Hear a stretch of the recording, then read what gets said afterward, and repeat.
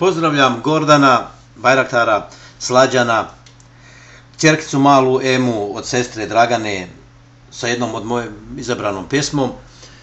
Da ih pozdravim i da im se izvinem u jedno što im to nisam ranije mogao učiniti, ali nisam je našao vremena. Sad sam ja izabrao jednu pjesmicu, tako da smatram će to biti dobro. Pozdravljam vas, znači Gordane, Slađane, Draganu i Emu.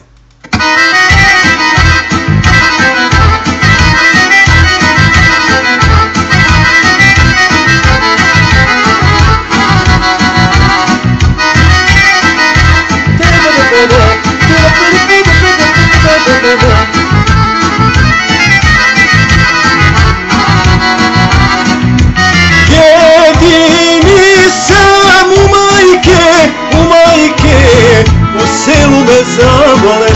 devojke. Sve su smeđe i plave, i plave Ali nema najmilijega nave Ona, ona, vredi miliona Vredi mlada pri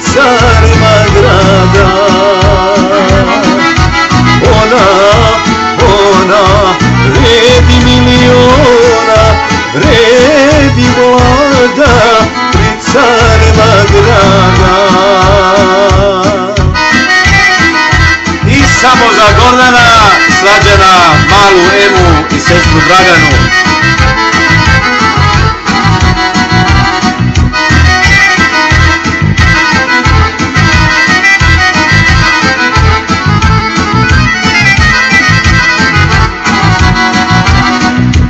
Duga stasa visoka, visoka U mom selu najlepša je devojka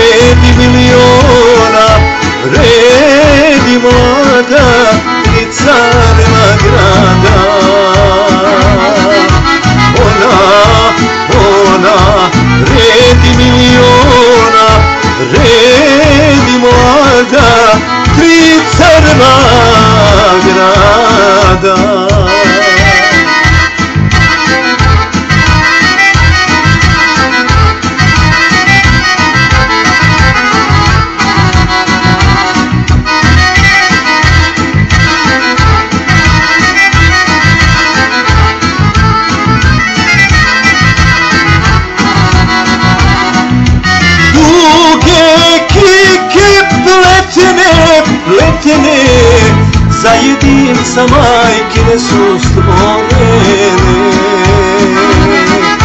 Njene usne medene, medene, zajedim samajki nek su rođene.